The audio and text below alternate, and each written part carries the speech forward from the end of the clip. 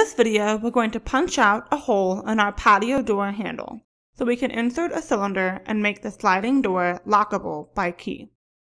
You'll need a hammer, a socket as close to the size of the perforated circle in the handle, and the cylinder, part number 15033 on our website.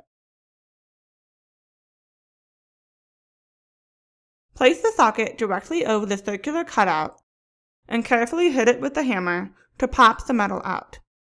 If your handle is plastic, be extra gentle. Once the cutout is out, use a file if you need to smooth down the rough edges of the hole. Now you can insert your keyed cylinder.